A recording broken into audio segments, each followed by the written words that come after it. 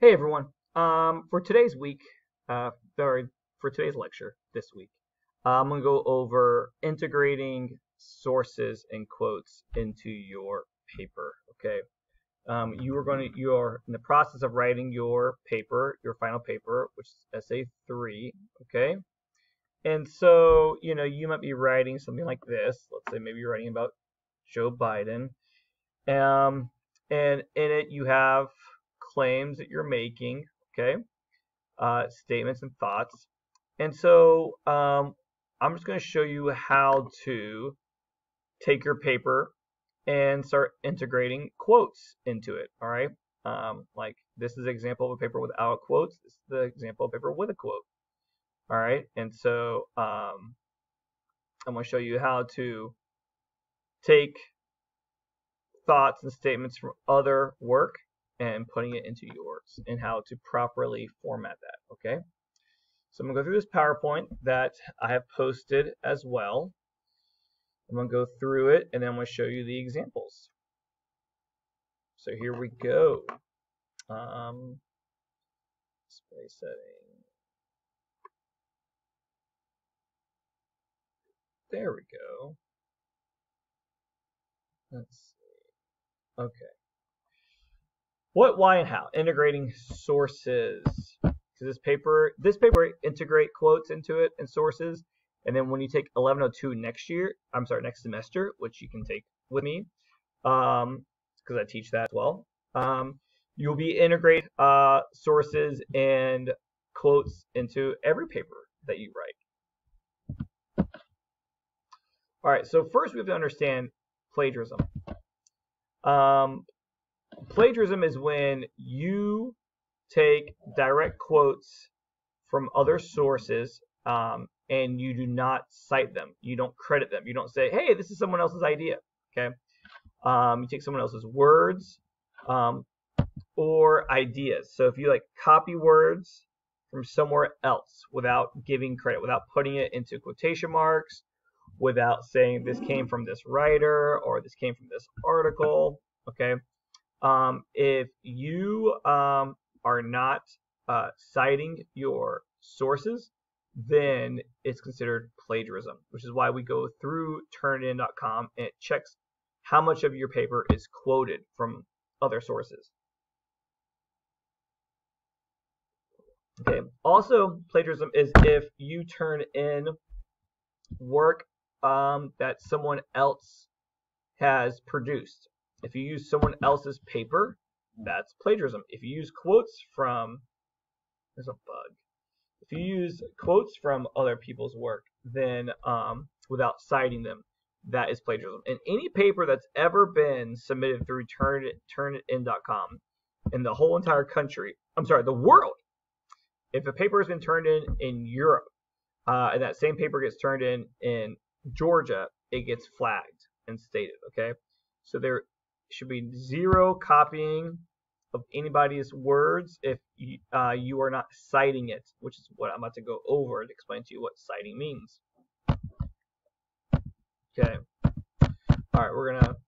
It'd be nice if you read if you if you read this on your own. Uh, I'm not gonna necessarily highlight that. Let's see. Okay. So we're going to focus on what is quoting and paraphrasing.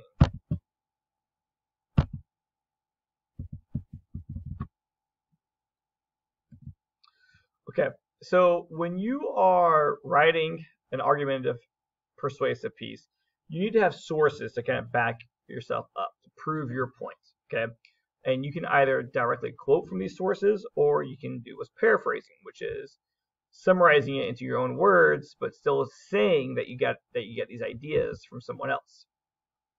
So quoting is using the direct language from another person, either in full sentences or groups of words, and putting the borrowed language between quotation marks. Paraphrasing is putting the ideas or arguments of another person entirely in your own words. Okay.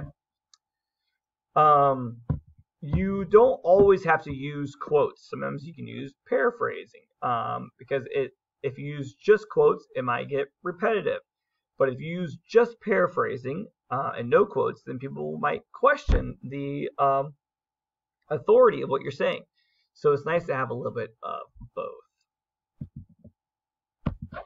Use quotations when the original language is as important as the ideas it contains.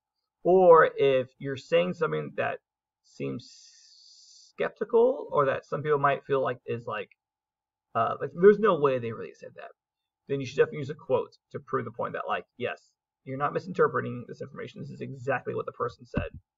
Okay. Um, and sometimes the quote just says it better. We can't paraphrase it in a way that's that's any better than what the quote says. Okay.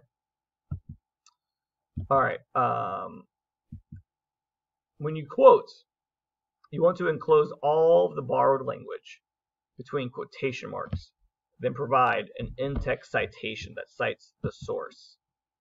All right, when you are paraphrasing, you are deciding that an author's ideas, um, but not his or her exact words, are important to your point. A paraphrase should not change the ideas, but it can eliminate or change words, often in order to condense a long sentence or paragraph or chapter or article. Okay. So like, um, here is the this is a quote from um, this article by Thomas Bender.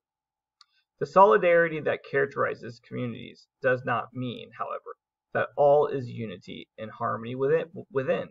Many commentators, uh, I think, by insisting that absence or of conflict like the family conflict we all know is real, though it differs from, say, market competition, is being mediated by emotional bonds. Okay, that's kind of lengthy. We might not need all of that, that whole sentence. You might not want to include that in your paper. So instead, you would say, say something like, according to Bender, the solidarity that characterizes communities does not mean, however, that all is unity and harmony within. So that just takes the first sentence, not all of it. Okay. Um, and you see how there, there's our quotation marks with the for the and the end with within. Paraphrase. While some people believe a lack of conflict character, characterizes community, Bender asserts that some communities may have and need conflict. Those are not the exact words of, of Bender. It's just paraphrased. So there is no um, citation. Okay. So in order to use a quote, you have to integrate the quote. You can't just have a quote by itself. Okay. You have to connect the quote to something that you're already written, like that you're already writing in the same paragraph. I'm sorry, in the same sentence, not just the same paragraph. Okay. Um. So first off, you don't ever produce what, what are called drop quotes.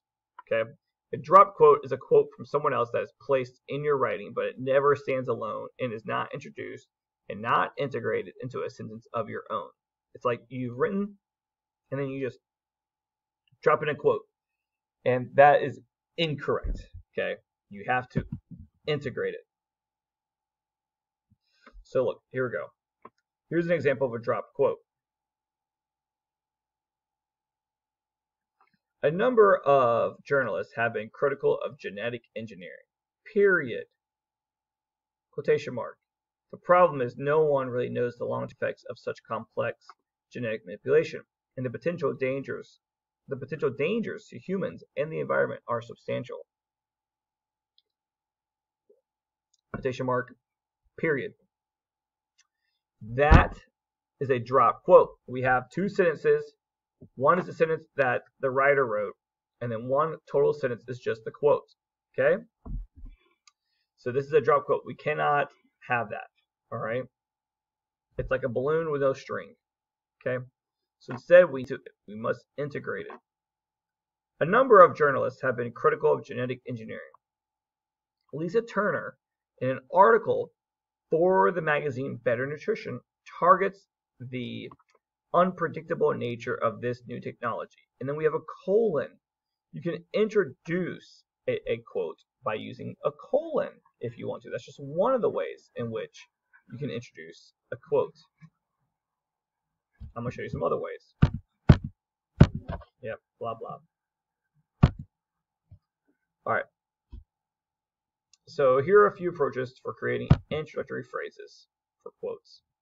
Identify the speaker and context of the quote. So for example, Dee protests to her mother that her sister does not know the true value of the quilts. And then we have Maggie can't appreciate these quilts. She'd probably be backward enough to put them into everyday use. Okay? So we can lead into it with a with a sentence going into it and a comma. We can have we, number two deal has another example with a semicolon. We can we can um, introduce a quote with a semicolon. Okay. Um, also, let's see. I want to jump down to yeah. We have an intro phrase like this. And I know why the cage bird sings. Maya Angelou writes, and then we have the quote. Okay. You can always uh, just start off with a signal phrase. The author says, the author writes, the author argues. AC. excuse me. All of these are appropriate ways that you can um, introduce a quote. Okay, the author, uh, Martin Luther, adds, and then you have a quotation. Um, thinks, observes, points out, reasons, grants. These are all verbs that lead straight into the quotes. So you have to have some sort of intro phrase leading into the quote. You cannot have a period and then a quote. Okay? Absolutely wrong. Okay. Um, hmm.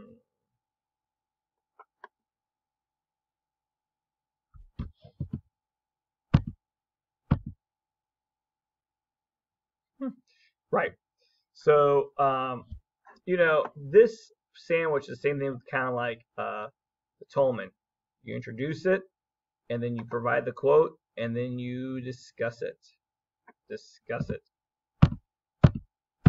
It makes me hungry. All right. Um, let's see. Yeah. So look, we have here. This this is our paragraph. In the autobiographical work Narrative of the Life of Frederick Douglass, the author's experience with education sharpens his views on the depravity of slavery, both for the slave and his master. There's our our claim. One of his masters begins to teach him how to read, and at first Douglass finds her to be a. then we have this quote, kind and tender-hearted woman. Do you see how uh, Douglass's actual words are integrated directly into the sentence that this writer is creating? Okay, so it both quotes and he completes his thought. However, their slave-master relationship soon disintegrates. He writes, we have our signal phrase, he writes, comma, quotation mark, slavery proved as, an, as injurious to her as it did to me. The first step in her downward course was in her ceasing to instruct me. Blah, blah, blah, blah, blah, blah, blah, blah, blah, blah, blah, blah, quotation mark, the page number in which this was found, which most of you are going to be are, are going to be quoting uh, uh, internet sources, so they won't be page numbers. And then period. Okay, the quotes are integrated into the sentences and they support the sentences. It gives the writing validity um, and uh, and you know it's done correctly where it's not just dropped in there. So it's done accurately. All right, so punctuating quotes, okay? Um, punctuating quotes is kind of difficult. All right. Um, especially when it comes to uh, citations. All right. If you are citing the source, if, if you have to say who said the, the, the quote, and if you don't give the person's name in the sentence, like if you don't say, hey, writer James Barkley from the New York Times said this, if you just have the quote, then you, um, after the last quotation mark, you have a parentheses, you have the author's last name. If there's a page number provided for that quote, you get the page number. If it's just on a web page, there is no page number. So you just have parentheses, the author's last name, and then another parentheses, and then period. Okay. Um, if you mention the author's name in the sentence, then you don't need to include them. You just need to have quotation mark. But in that case, though, as you'll see, you'll have the periods go inside quotation marks. So let's talk about punctuating. So we got to use quotation marks, okay? And uh, all punctuation goes inside of quotation marks. So there's a comma, there's a period, there's a semicolon, there's a colon. It goes inside of the quotation mark. Um, so see here, commas and periods go inside the quotation marks. Okay. Um, you have quotation mark, and then you have a comma and quotation mark. Okay. If there is a parenthetical citation, like the author's last name, then that goes on the outside of the quotation mark. It's quotation mark, parenthetical, citation, and then period. Um, semicolons and colons go outside of quotation marks. Uh, question marks and exclamation points go inside quotation marks. Okay, so these are just little things that you need to pay, to pay attention to. All right. Um, let's see. A quote within a quote. so if you have a quote within a quote, you have a you have the double the double quotation mark, and then in the quote that's inside of the quote is a single quotation mark. Single. Single. And then when the whole statement is is finished, then you have a double quotation mark. So a quote within a quote. The quote within the quote has a single quotation mark, and then the double quotation mark is for the entire quote. Okay. Um, sometimes you will want to leave out material in the middle of a passage, quoting the most important words. When you do this, use an ellipses. Okay. So if, if you're if you're quoting, if you're leaving out some information, some some of the words in between two quoted sentences, then you just have an ellipses. Some of it seems really confusing, which is why I do also after you write your paper, I suggest you signing up, making an appointment with the uh, with the online uh, with the LCS, the Learning Center, the Learning Support Center. That's what that's what it is. Learning Support Center will help you also with your punctuation. All right. Um, if you are referring to the title of an article, you need to have it in quotation marks. If you are referencing a book, it's italics. If you're referencing a novel, it's italics. If you're referencing, if, if you are stating the actual newspaper or the magazine, it's in italics. If you're talking about the, the actual article's name, then it's in quotation marks. All right. Um, I'm not going to go into that. Uh, you yourself. But I'm going to show you these two examples, though, okay, of integrating quotes.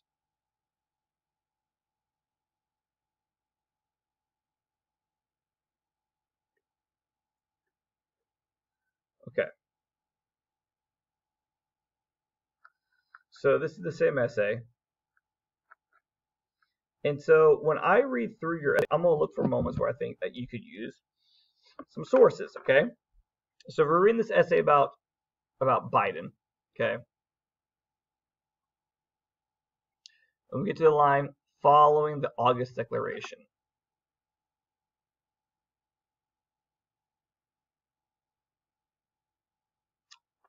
Uh, oh wait, this is the wrong. Uh, oops, hold on, that's the wrong one. Examples. Oh, without quotes. Here it is. All right. Um,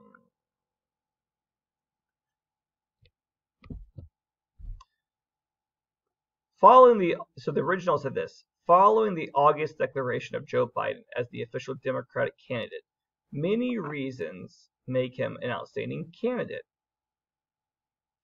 During his campaign announcement, Joe Biden admitted that the American values and democracy are at stake, a statement that made me rethink the current status of America and the political standings of Joe Biden amid his this economic crisis. Okay, so this would be, you know, they're talking about like what he admits in this uh, announcement. So to me, I'm like, why not just have an actual quote from the announcement? It makes it that much more authentic. So I went and I found uh, the actual um, announcement, and I and I added a quote. During his his campaign announcement, Joe Biden states that the core values of this nation, our standing in the world, our very democracy, everything that has made America America, is at stake. Um, a statement that made me rethink the current status of America, which is all right. I include this Burns right here is the person who transcribed his announcement. So look, it's my works cited page. Alexander Burns, Joe Biden's campaign announcement video, annotated. I read this, and uh, Alexander Burns is one who took his speech and typed it up. So that's why I put his name right here because this, this is his article. All right, I have Joe Biden states that, and then I have the quotation mark, and then I have what he said. Then I have a comma, quotation mark, and then I have the parenthetical citation, Burns. So um, adding this just gives it a little bit more detail and makes it more specific. Okay. Next paragraph down. It's about the, the Affordable Care Act. Okay. Um, we have uh, when the Trump administration challenged the Affordable Care Act, Biden went ahead and defended it, terming it the best deal for Americans. In his article posted to Washington Post, Biden wrote that the Affordable Care Act might not be perfect. Still, its ideology was based on providing the best healthcare services across American society. On his campaign website, Joe promises to leverage the Affordable Care Act by blah, blah, blah. Okay, there's a lot of summary. Once again, though, it can make your reader question, is that really what he says? Is that really what he thinks? So if you look over here, I went actually found the article, and I got a quote from it. In his article posted to Washington Post, Biden writes, the Affordable Care Act isn't perfect, but the choices we made when designing the law flowed from a commitment to provide the best possible care to the most people. In spite of this, on his campaign website, Joe Biden promises to leverage the Affordable Care Act Okay, so this quote isn't really any different um, than this. It's just that now we actually see Biden's actual words rather than getting just a summary of it. And so that's what I did. I, I read paragraph and I thought, okay, you know what would be better if I actually had a quote here. So then I went and found a quote to integrate it. Oops and there, there are no drop quotes. Here we have this sentence. This includes plans to pass the National Domestic Workers Bill of Rights. And as Maddie Kahn writes in Glamour magazine, Biden, then we have quotation mark, advocates to pass the Equal Rights Amendment, use federal funds to invest in women-owned businesses, make public colleges and universities tuition-free for all families with incomes below $125,000, expand benefits for jobs that women tend to fill, and support the Paycheck Fairness Act, which takes aim at the gender wage gap. Period. Okay, I added that quote to make this paragraph better. So, like this paragraph right here, like any other economic issue, women's issues have become. This paragraph was originally 137 words. By me going and finding a quote and still having the rest of that there, I've now made it 183 words. Okay, it adds a link, it adds um, uh, it pushes it forward, and it makes it far more um, trustworthy by having an actual quote from a writer. Okay, so that's all you're doing. Okay, you're you are if you if you've written your rough draft, great. Go back in and find places to add quotes. You should have a quote almost in almost almost every paragraph, or it can be summarized. Okay? All right. Next week, I'm to go over what you do with those quotes in terms of uh, making a work a works cited page. I'm to go over how to make this part of your essay, the works cited page, and how to properly format that. But that'll be it for next week. This week, you should really be focusing on integrating quotes into your paper. Okay? All right, y'all. Email me if you have any questions. Okay. Bye bye. Maybe.